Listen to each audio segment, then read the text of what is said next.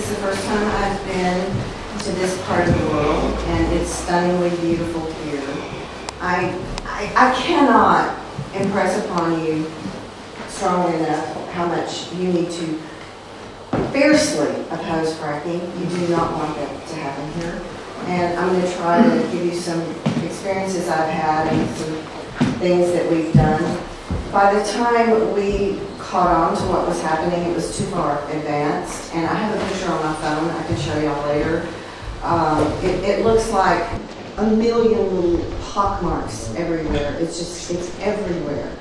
Um, so I just want to tell you how how much you need to get very seriously and very fiercely oppose fracking. And I want to thank Friends of the Earth for bringing me over here.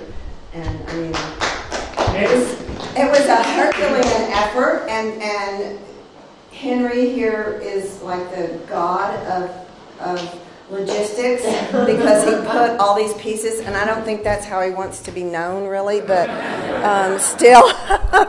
He's, he did a, a, an amazing job of making everything fit, including when we realized that I was leaving the United States on the 4th, but I would not be here on the 4th. I wouldn't be here till the 5th. So we lost a whole day in planning. So I'm gonna. I have a lot to tell you. I think I've probably got over my time limit, but I really want to tell you all this stuff. So I'm gonna jump in here, and I'm to I, have got some notes here, so I need to be able to look at this. But um, I think I. That's on that menu on that side. Okay. So this is me, and I am a fifth generation Texan, which I'm not sure how that happened. I think I fell out of a satellite. But um, I grew up on a horse, and um, that's all I ever wanted to do was ride my horses. And I did go to work for the oil and gas industry when I became an adult because that's what everybody in Texas does. And they pay a lot of money. I mean, a lot of money. But there's a reason they pay people that much money, and that is so they can buy your silence and they can buy your loyalty. But after about 12 years, I, I started catching on to things that I found very objectionable, like the what I consider a lack of ethics and a disturbing sense of entitlement.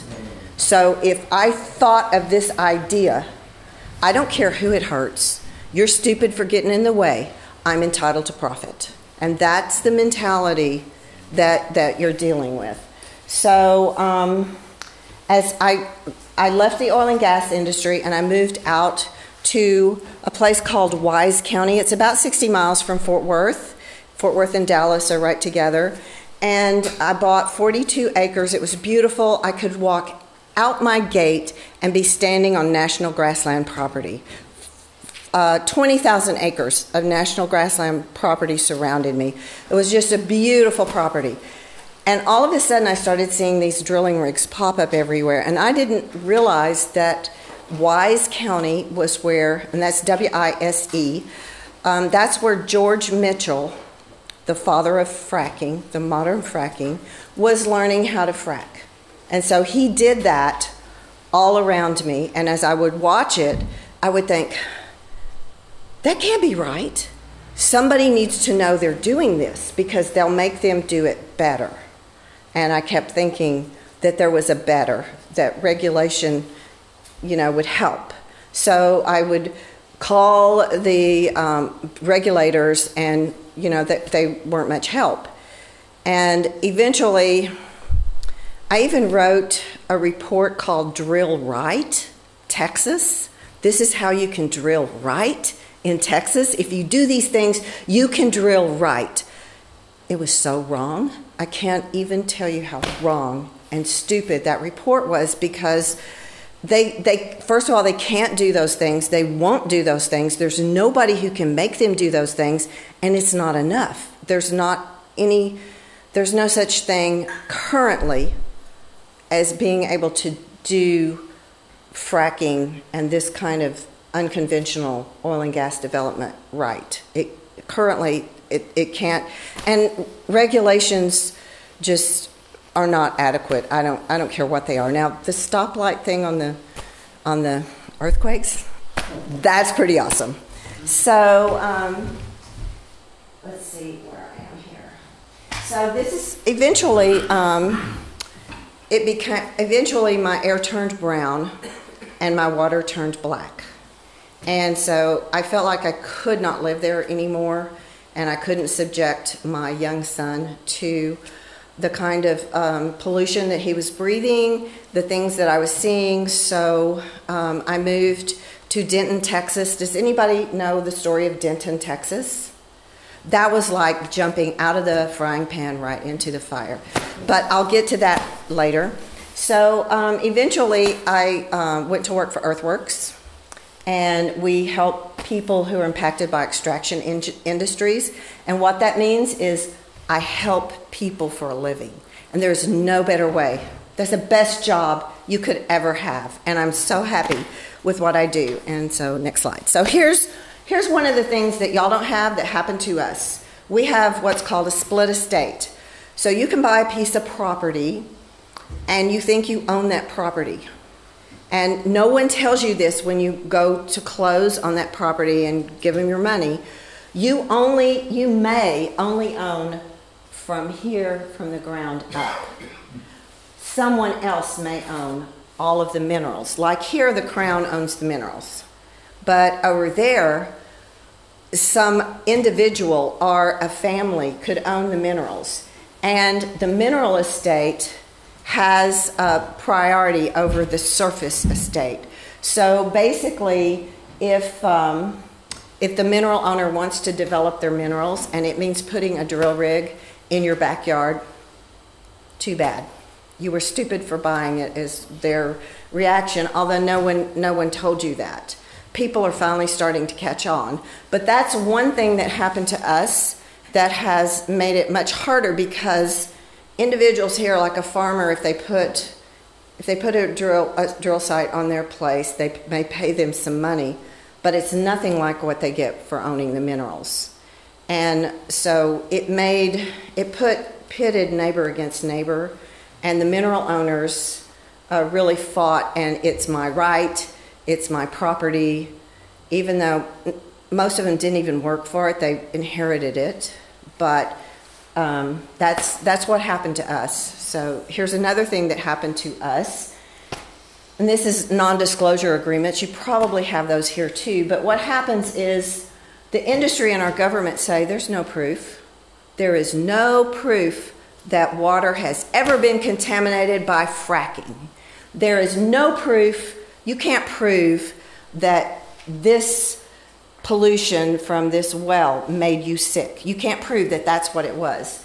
So landowners take all the money they've got, they're stuck, they're here on their land, they're paying their mortgage, they can't get out, and so they take all the money they've got and they hire scientists to come and prove it.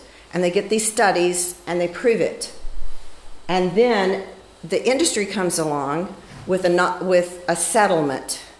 Okay, we're going to give you this much money and you can move away, but you can never talk about it again. It comes with a gag. So they so all that science and all that proof that they got right here that disappears. It's hidden forever behind a non disclosure agreement. Our lawmakers cannot see it. Scientists cannot see it. The media cannot see it. No one can ever see it. And they cannot ever speak about it again. So that has allowed our, the industry and our government to say there is no proof, even though there's ample proof, but it's all been hidden. So now I'm going to tell you about some stories about people that this has happened to. This is looking out ki- the kitchen window of Tim and Christine Ruggiero. And they had 10, 10 and a half beautiful acres that they bought for their daughter to raise animals. They had horses. And one day, their neighbor called them and um, they said, They're bulldozing your property, they cut your fence down, and your horses are running wild. And this happened, they got no notice. Um, I'm just going to look at my notes here. They got no notice, um, and they called me and said, what do I do, what do I do? So I told them, and this is the key, get a baseline water test right now. Now, it was very early on, this was in 2009.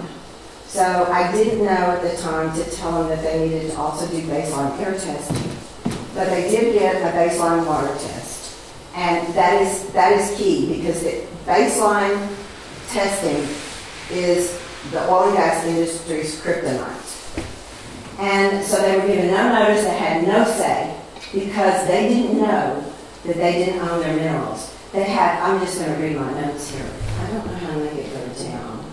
Their water wells, so ev- eventually they had, um, they were exposed to constant emissions, very high, very high emissions, pollution from the tanks and from this that made them sick. They got nosebleeds, they got rashes, their daughter came down with asthma. She, she was an athlete, very young. She was, I think, eight, and she came down with asthma. Um, they had six spills on their property, but the industry, of course, tried to, to cover this up. So you would see them out very early in the morning when it was 14 degrees shoveling gravel, like they were putting new gravel on the site. But what they were doing is covering up the spill that had happened overnight. Um, their water well was contaminated. They had, um, is this a microphone? Yeah. Oh, okay. So um, they, they uh, took the baseline test, and then after fracking, they took a follow up test and they sent it off to the lab, and the lab called them. Instead of just mailing them the results, they called them and said, Do not use your water for anything. It is unfit to use for any purpose. If you have a fire, do not use your water to put out the fire, it will make it worse. So um, their property value loss was 70%. And realtors told them, I couldn't in good conscience sell this property for any amount. So um, just click. So, yeah. So you saw the drill rig right outside their window. This is a sign on their drill site. Danger, do not enter. Tank may contain fatal vapors. So the best you can ever get is when you catch industry telling the truth. This is industry telling the truth. And that was right where their daughter used to play. So the next the next slide, this is their property. Here's their house. And this is where the drill site was. Um, so go to the next slide. This shows it. This shows an outline of their property and where the drill site was. Now go back. So this is this right here is the waste pit where they spread the waste pit and they spread it out all over all on the land. It's called land they call it land farming. It sounds like a good thing, right? That's what they do in the United States with the land. With the waste, they spread it on the land. Toxic chemicals, radioactive material, heavy metals. So, and this is their barn, and that's their house. So they worked with me. They learned how to, um, and I, I learned with them. We learned how to document everything using the state's own data a lot of times because one of the keys is to complain. And I don't know about the English people, but um, Texans, they're real stoic. They never want to complain. They don't want, you know, they might call and say there's an odor, but they don't tell people it's making them sick. And because they don't want to admit that they're sick from because they're tough, they're Texans. So the key, one of the keys to this industry, complain. All the time, complain. Complain to the regula- regulatory agency, just complain a lot because eventually they were, we were able to get enough data to, uh, they sued the company, and the company now, no one is going to buy that place. They, they spread all the waste here. This has been like 2010. It still looks like that. They've seeded it with grass four or five times. Grass will, will never grow there. So that house now is a beautiful house. It was, it now is an office for the industry people. And, but at least the Ruggiero family got out. So next slide, let's see what's next. Yeah, the next one. Oh, th- yeah. This is their property. There's their house. This is the waste. That, and, and it's horrible. That it just reeks. You can see the oil slicks here. You can see all the spills around the site. And this, you can see the oil. This is gelatinous in the waste pit. That's what they spread on their land. And then here is driving up to their houses behind that. This was constant diesel emissions like that. Okay, next next story. This is a case study from Argyle and Bartonville, Texas. So, um, one of the Forbes magazine said it was one of the top five or ten places to live in the United States. And so it was a fairly affluent community, and they plopped down this facility. It was a it's a mini processing plant. It had a compressor station, and compressor stations really are horrible. They put out a lot of pollution. They just plopped this down right in the middle of this neighborhood, very a small rural neighborhood, and the the facility, the, the fence for the facility was about 15 feet from one kid's bedroom window. And so um, this, this community got very organized. They were smart, they had a little bit of money, they were able to do some baseline testing, they worked really hard, and it paid off. Um, so go to the next slide. This they had um, this facility had 501 emission events in one year. These are the chemicals that the state tested. Wasn't our independent testing. This is the state. You know, the state tries to cover stuff up. These are the chemicals from one event, one of the 501 events. These families had to get their children, their pets, and evacuate in the middle of the night many, many times and go, go stay somewhere else because they could not stay at home. Um, so, yeah, next slide. Um, when they would have an event, they got so organized when they would have an event, when they would smell an, an odor, they would call each other and report their physical sy- symptoms they were having. This is key because all of these symptoms, this is from that same event. They would call them and they would have a scribe who kept all of the, a record of all of the, the health symptoms they were having. From that one event, these were the health impacts. And these health impacts, if you look up the chemicals on the slide before, you will see that those chemicals cause these health impacts. It's a match. Sharon, you say that the chemicals found were found by state testing. Did the state not feel that they had some responsibility, having found those chemicals, to protect the residents? To stop Um, the oil companies doing it?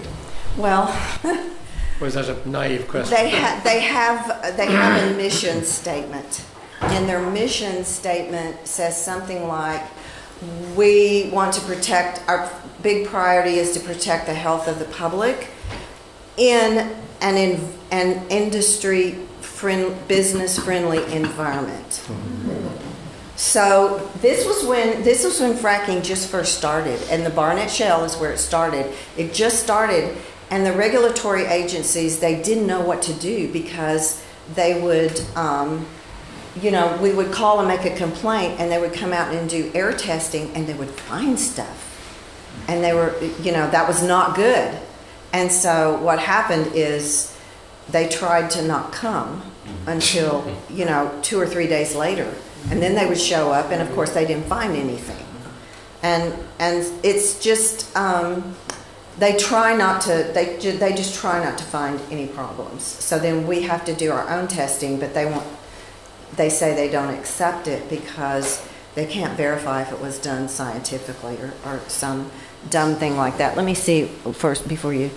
Um, okay, I said that. Yeah. Um, yeah, I just I, I want to stress on you how important it is to work together, like um, oh, that like that community did, because the oil and gas industry will say and they will do anything. They will say anything. They come up with the most bizarre things to say. They will try to tear communities apart. They will pit neighbor against neighbor and try to make you do uh, do infighting in your groups. Just don't. I mean, if you do have infighting and there's going to be arguments, settle it quietly. Don't let it become something that's known outside because the industry will they'll see that as a weakness and they'll use it. So I told you the Argyle Bartonville community did baseline testing, and when they did their baseline testing, they found seven of the 84 chemicals that TCEQ tests for. So there's it's not too bad. You know, there's going to be stuff in the air. Um, and they already had a little bit of fracking, so it wasn't a true baseline. Follow up testing 65 detects on the lot where the high school band practices. So parents, and, and it was 200, 2,640 feet from the facility. So that's that tells you that is not an adequate setback. Nowhere do they have that kind of a setback. I mean, they, you know, they, you can't get far enough away, and I can tell you more about that. But um, the, the parents would take their kids to band practice and drop them off in a mist of hydrocarbons, and then their kids would get sick. And so, the the main problem, so the state might test, come out and do air testing, but none of the chemicals would be super high. Maybe one or two would exceed the state recommended level, but they wouldn't be super high. But the problem is the mixture.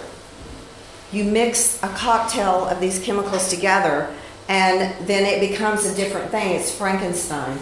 So the presence of one agent can increase the toxicity of another agent by several fold. So a chemical that they never see in the brain binds with the chemical that they do see in the brain, and then you've got two chemicals in the brain.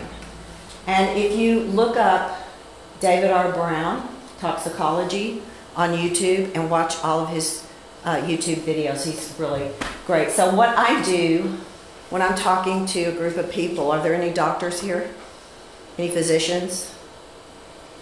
So, if there are, I would ask the next, this next question, which is What is the increased risk when chemical exposure to our children intensifies from seven chemicals to a cocktail of 65 chemicals? No one can answer that because that science is just starting to happen. They don't know the answer to that, yet they are putting these facilities right in people's backyards. Next story is Denton, Texas. Does anybody has anybody heard about Denton? We were the first. So I moved to Denton, ran right in. I was unpacking. They started fracking in a across the street from a park. So, um, Denton was the first city in Texas to ban fracking. And they didn't um, come by that decision um, easily because it's Texas. And they felt like, well, we use hydrocarbons, so we need to bear part of the burden, and all of these, all of these things, which is, you know, whatever.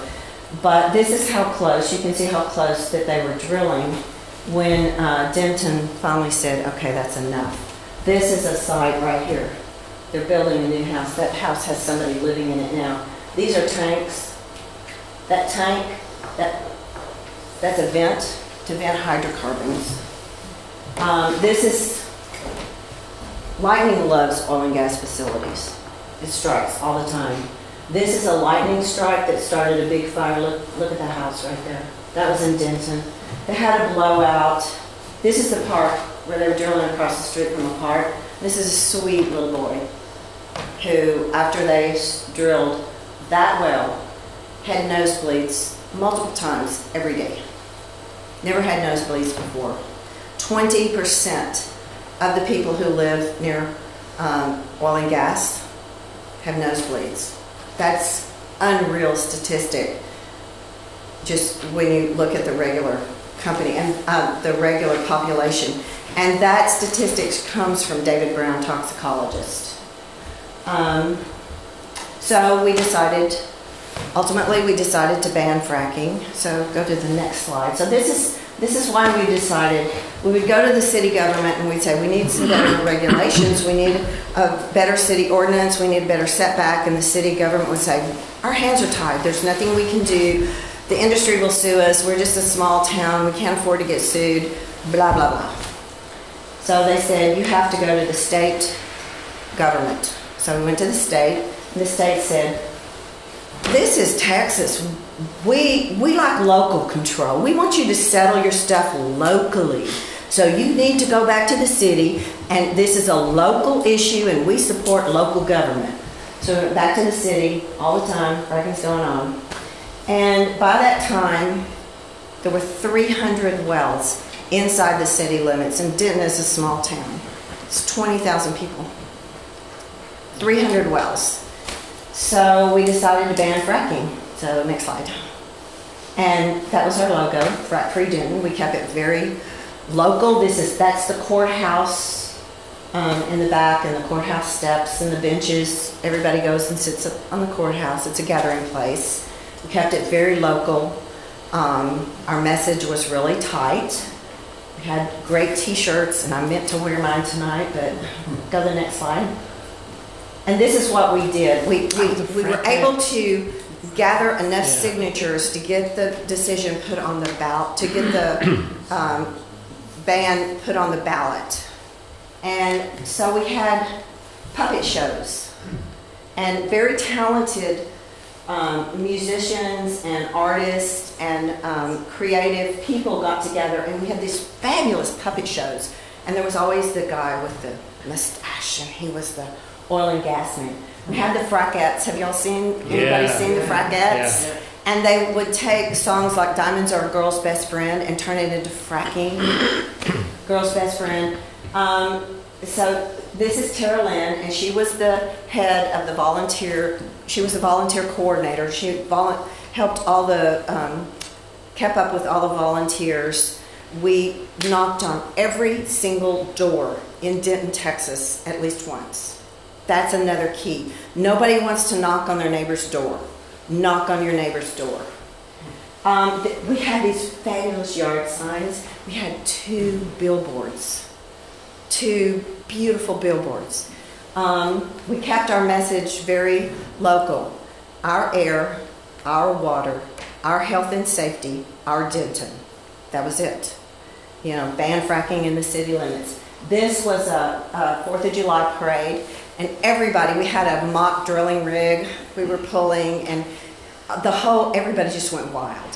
So, I don't know with with uh, sixty percent of the vote, we banned fracking in a Republican town. It's a very Republican conservative town. They agreed. I mean, these guys would drive up in these big pickup, you know, two, I mean, four wheels just on the back. And I, and I was standing at the polls, you know, to give people information. I was like, I'm not talking to that guy. No, I'm scared of him. But I just, I told myself I'm going to talk to every person. So I would go up to somebody like this and say, Do you know about the frack, fracking ban? Yes, I do. Well, do you know how you're going to vote? Yes, I know how I'm going to vote. Well, you know, it's it's a little bit deceptive the way they have it on the ballot. Yeah, I looked into it, and he said, "I'm going to tell you what, fracking does not belong in the city limits." I was like, God, all right. So, I mean, uh, the, there was a woman who even said the most racist, unbelievable things you can think of about Obama, and she said, "But I'm voting against that. I'm voting for that fracking ban." It was just, it was unreal because when you keep it very local and about your health, your safety, your children, your families, then it, res- it really resonates with people. They want to protect what they have. But we live in Texas. The next morning, after the ban passed and we were all just, you know, hungover and happy and just celebrating. The very next morning, early, the state of Texas and the oil and gas industry sued the city of Denton. But we didn't have to worry about um, the lawsuit because the Texas legislature, the oil and gas industry showered money on the Texas legislature. They just stuffed their ears full of money and they could not hear us. And so they passed a new law that said you cannot ban fracking. No city can ban fracking. And they stripped away almost every bit of any regulatory, uh, anything that you can do for a city to regulate fracking. And th- there's four tests, but this is what, number three, must not effectively prevent an oil and gas operation from occurring. Pretty much means whatever you do, you're screwed. And they said, you know, it has to be commercially reasonable. If you, if you pass a law, it has to be commercially reasonable. And the standard was a prudent operator. So the next slide will show you what they think a prudent operator is. This is Devon Energy, drilled right here in a Denton County um, city, and that this is what the Texas legislature thinks is commercially reasonable. So they kicked our teeth in, but next slide. So we're, we're like, what now? So we, we've decided we have a bunch of lawyers. We can bring a constitutional challenge if we find a city that, that has the courage to um, stand up to the oil and gas industry, which is not easy to find, or we can pass legislation that will increase local control. So we have to chip away with it a little bit at a time.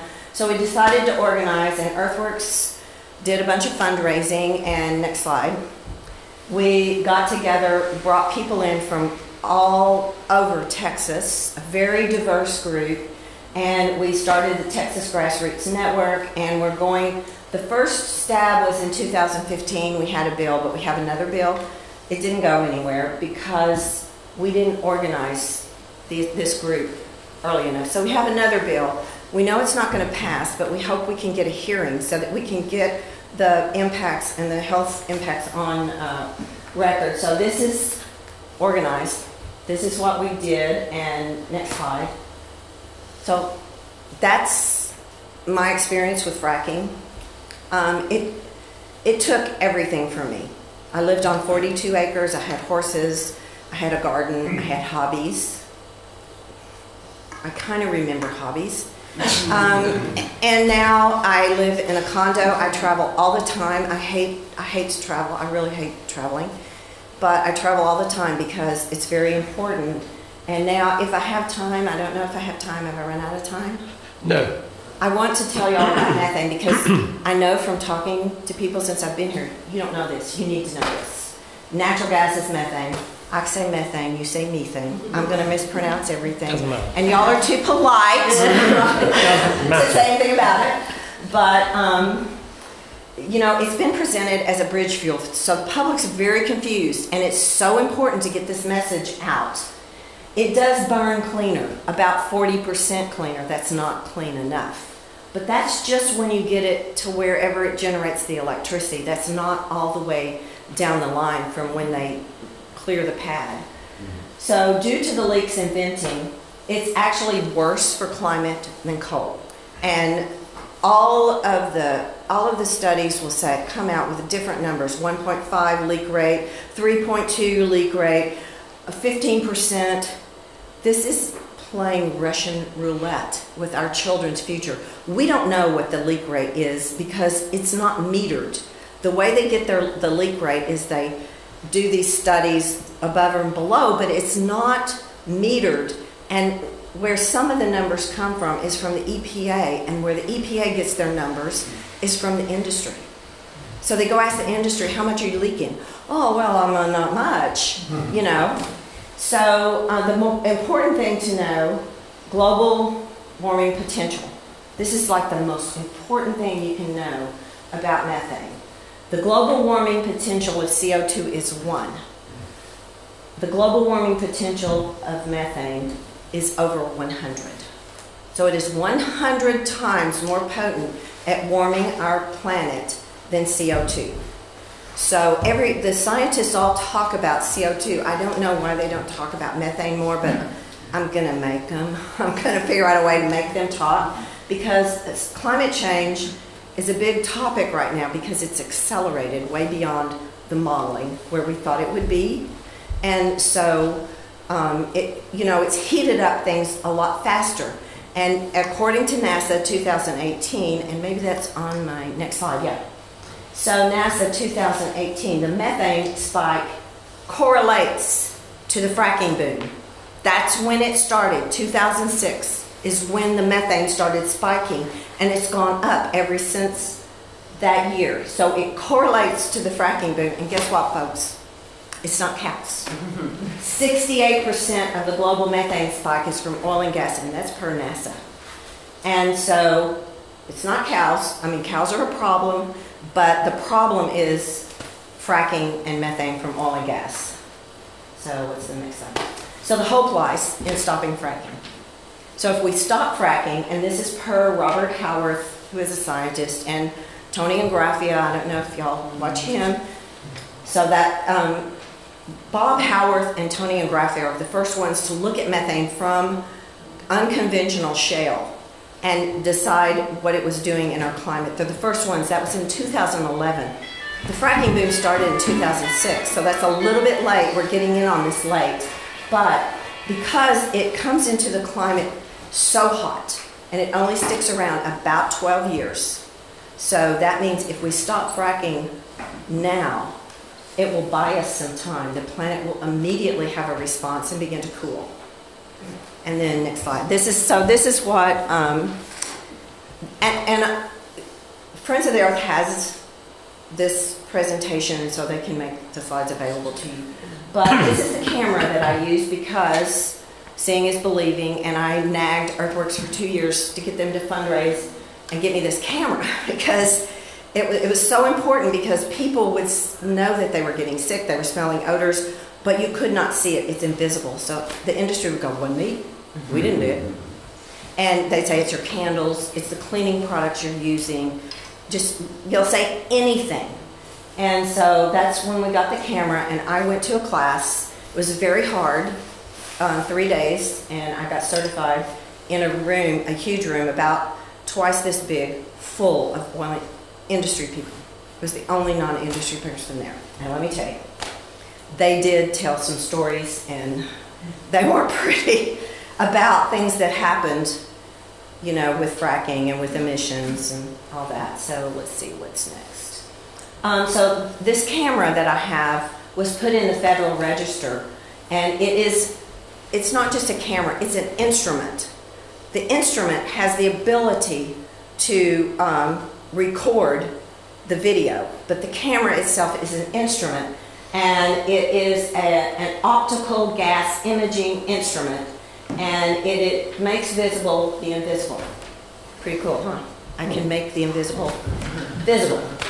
And um, so it's, it's a legal way to detect oil and gas emissions. The camera was designed to detect oil and gas emissions, and the oil and gas industry will make all kinds of statements like, I don't know what I'm doing, she doesn't know what she's doing, and that's not really what you're seeing, that's not really that. But um, I was trained by the same people that train them, but they just look at their own facilities. I look at facilities everywhere. Now I can say I've been all over the United States and other countries, and and I see the same thing. I consistently find emissions. Slide. And this is how it this is how it uh, does. In case y'all just want to know, um, it's it's very narrowly calibrated to pick up hydrocarbons. That's the purpose of the camera is to pick up hydrocarbons, and hydro- hydrocarbons absorb infrared light in a very narrow spectrum. Just I mean, just very narrow, right there, just that much. So it's very finely tuned, and so the hydrocarbons pick up the infrared and they become opaque, and then you can you can see it. The camera shows them to us, and that's how it does that. What's next? So when you look at a site, this is a site in Texas. So this is what you see. That's the flare. That's a flare pipe right there. Next slide. This is what the camera shows us. The flare pipe is not lit. You can't see whether it's lit or not with the naked eye. And those are hydrocarbons, methane, volatile organic compounds coming out. So, in case you don't know about this site, this is the solution. We, we already have everything we need right now to fix this problem, and that's using wind, solar, and hydro. We don't need nuclear. We